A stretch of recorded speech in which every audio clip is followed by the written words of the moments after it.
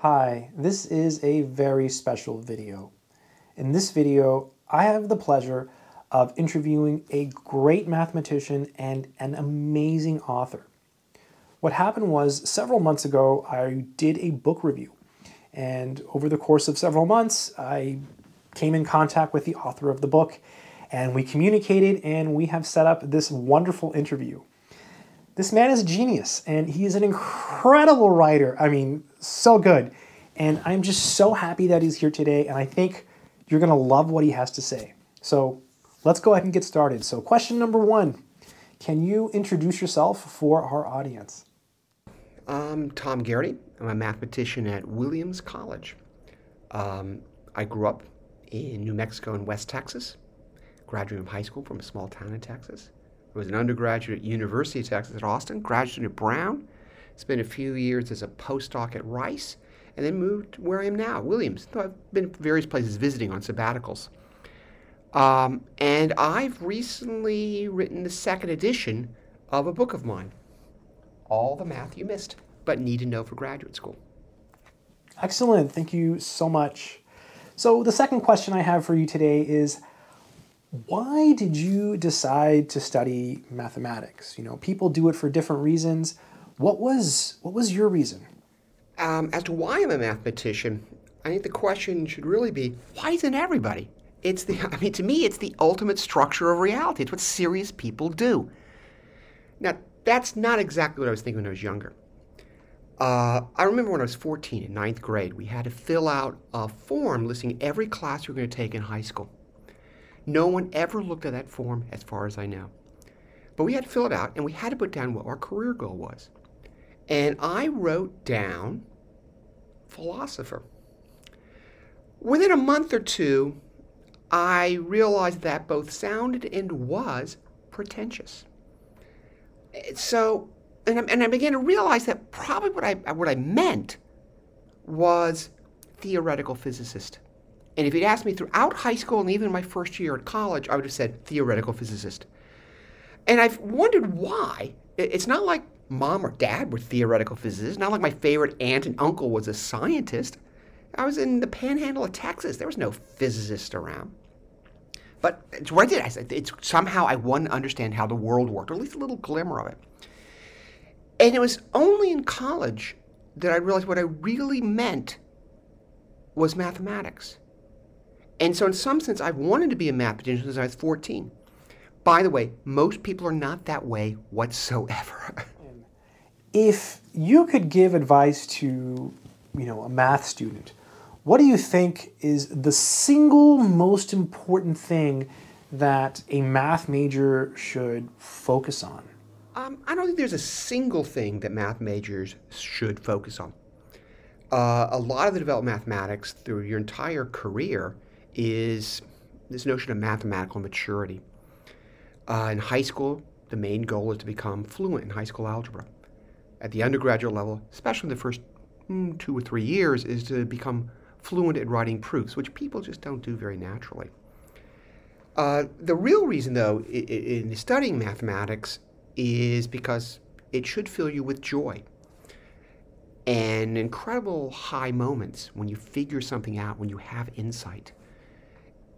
That's not to say there's not painful times too. Math is really hard. Uh, but I think most things that are worthwhile are hard. It's also wonderful. So, my next question is I see you have a new book out. Can you just tell us about your book?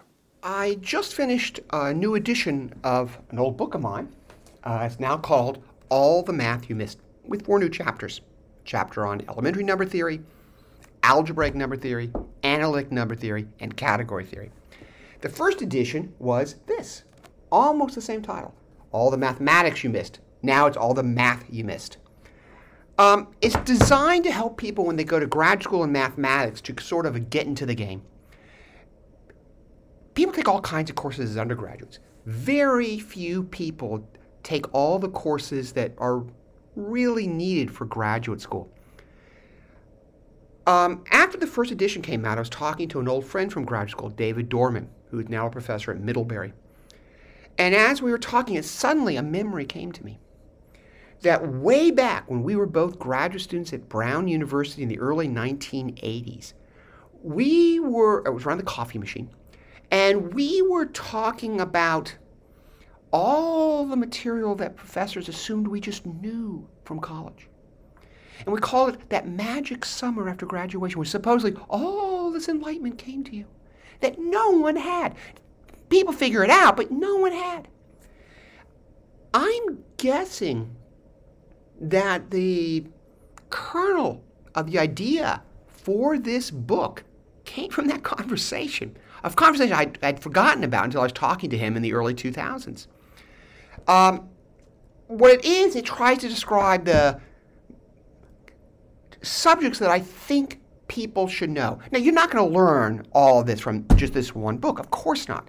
But it's mainly what's the point of linear algebra? What's the point of complex analysis? What's the point of category theory? Just so you can kind of see the big picture. And it will help you then figure out what you need to learn so you can keep up the conversations in graduate school. Um, that's the main goal of it. Uh, I was very happy the first edition sold really well. And I think the new four chapters should have been in the first edition, but were not. So I'm kind of happy about it. And I hope people read it and find it so useful. Learning to write proofs, in, in my opinion, is one of one of the hardest things for math majors.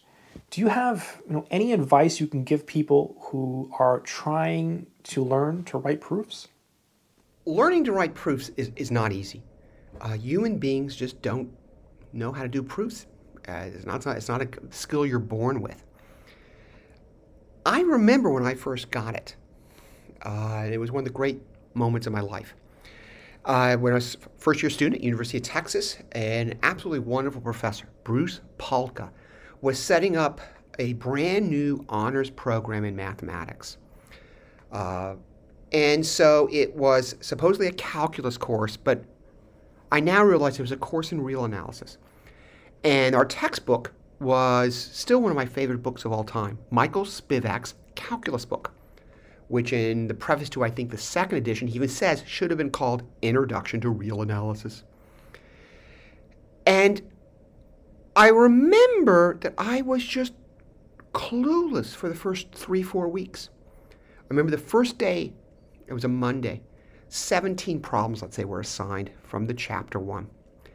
I had not been the best student in high school, and, but I said, this was college, university. I will be serious. I remember that evening walking across the street from my dorm to the brand new Perry Castaneda Library at University of Texas. It's an old building now, but at the time it was brand new. It had a new library smell. And I sat down at a desk and said, I'm going to work these 17 problems. Three hours later, I dragged myself out of the library, having worked at best three of the problems. And I really, really was sure I had them right. Um, I, the, the, assignment was due that Friday, and I worked all week, and I, I guess I got through it, but it did not feel, I just didn't even know what really was going on. Now, Bruce Palka was a wonderful professor, and he could see the frustration in uh, my, in, well, in our, the students' eyes He encouraged people to talk together, to work together. So the second week, three of us gathered in the Perry Castaneda Library. Uh, me, some guy, and third person, Michael Lacey, who's now a mathematician at Georgia Tech.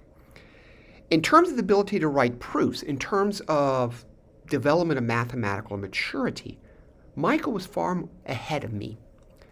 And in our conversations about how to do the arguments, it was pretty clear to me which direction the information was flowing. it's not like he was getting insight from me. You know, it was almost at the level he would be working the problems and I'd go, Can I go get you a Coke, sir? It wasn't quite that bad. Um, again, I got through the second assignment. Uh, um, it, it wasn't like an honor code violation, but it didn't feel good. Third week, Michael didn't bother to show up. I did not blame him. But there's a number of us sitting around. It was just hard. I just couldn't figure it out. I couldn't. And I've been working hard, and I, and I did not want to return to a small town in Texas. Um, but I really wanted to do math. And I remember it was a Thursday night. It was not in the uh, Perry Library, but in a different library at University of Texas, the undergraduate library. And there was a few of us sitting around and struggling. And my roommate had a lot of David Bowie records, and I'd been listening to them.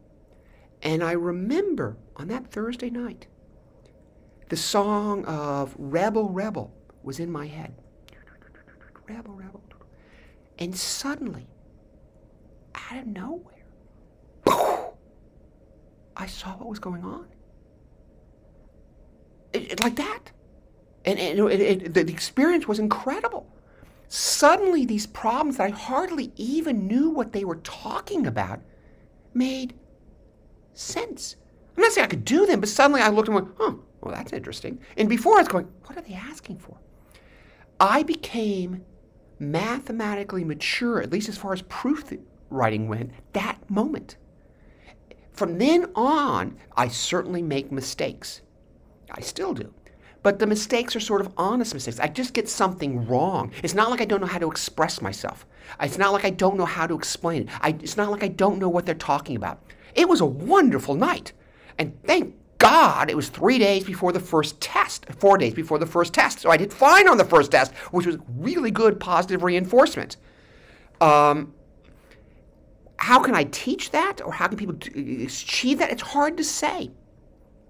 It happens. When you're teaching a proof theoretic course, I've certainly seen students who are who seem as dumb as dirt and then overnight are doing A work.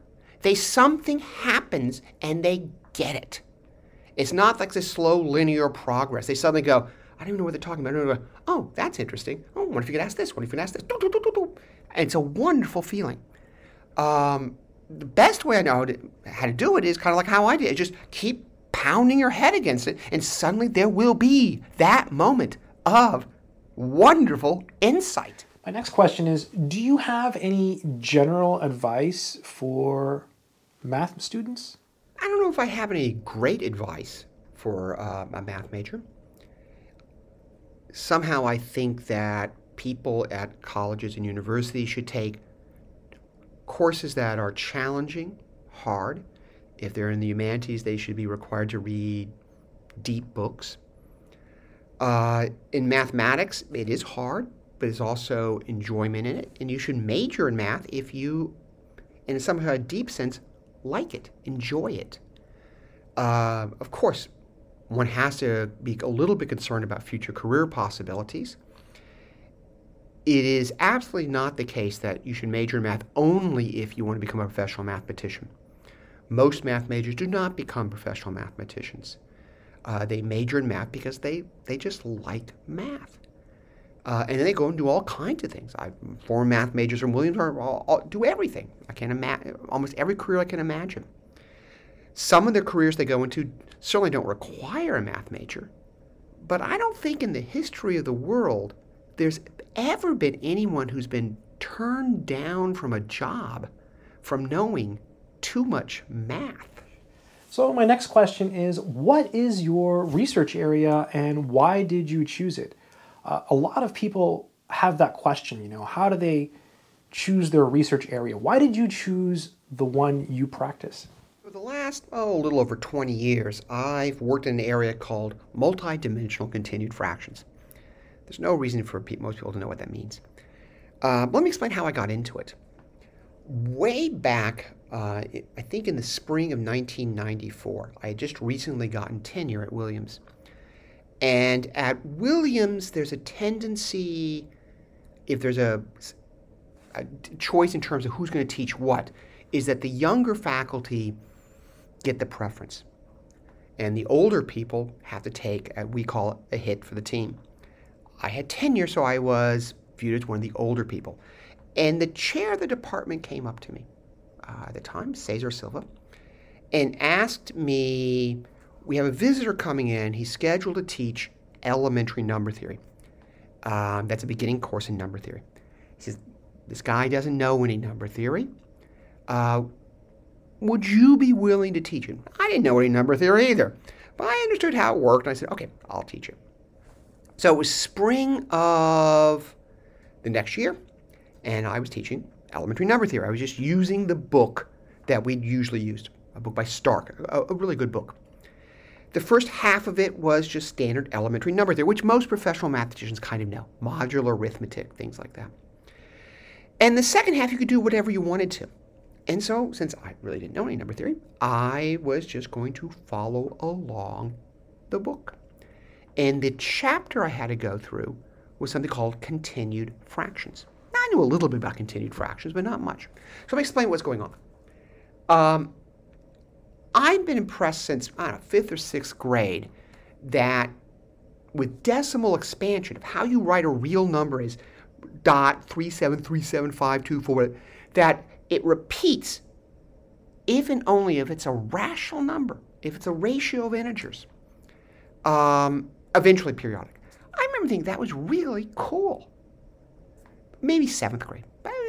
I thought it was great. Most numbers are not rational, even close to being rational. That's why the decimal expansion of square root of 2, which is not a rational number, is 1.41 kind of junk. Um, I'm not really sure what the billionth term of that number is, or the trillionth term. I have no clue. Uh, it's all determined, but it's just there's, there's no pattern there. I started teaching about continued fractions. Now, continued fractions are another way of expressing every possible real number.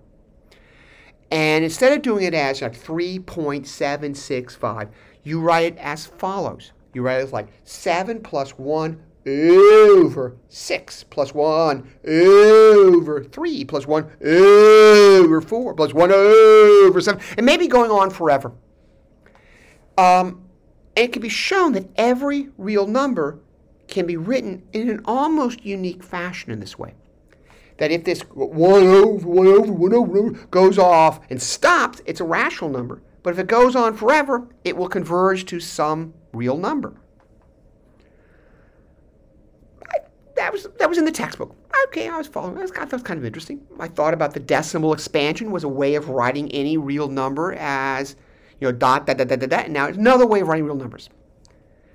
But here's the fact that just just, just I thought was really cool. Let's try an example. What would be the number 1 plus 1 over 2 plus 1 over 2 plus 1 over 2 plus 1 over 2 and make the 2's go all the way. 1 plus, and then it repeats 2's. Certainly looks pleasant. What number is that? It's the square root of 2 that the square root of 2, which is decimal expansion is junk, has a very pretty form.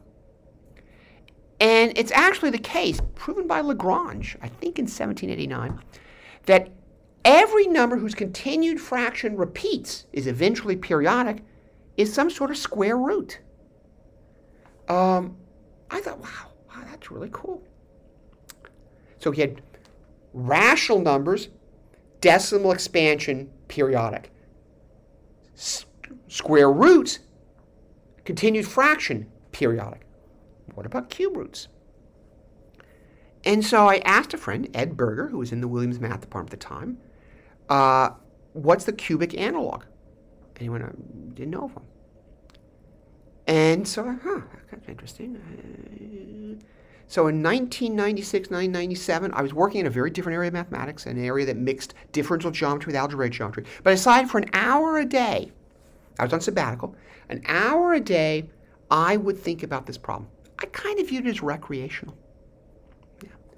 And I thought about it, and I thought about it. And by the end of that year, I started drawing these little pictures. I started getting feeling for it. Eventually, someone, it might have been Ed Burger, said he actually came across it. It's it's something called multidimensional continued fractions, uh, and that the problem I had of taking a cubic and finding a way to uh, generalize continued fractions to capture cubics by periodicity was posed by Charles Hermite when he was a young person to his friend Jacobi that there was a method called Jacobi-Perron that did not do the trick, but was an attempt at it. I began to look at papers on this stuff. I saw that the many of the diagrams they had been drawing were very similar diagrams I had, One of the great things in that 96 97 period, I'd come up with my own little method that I thought was good. I realized that a lot of the work of Hermann Minkowski in 1900 on geometry numbers was trying to solve this problem. Um, and that's how I got into it. And by, I would say, 2001, 2002 is my primary area of research.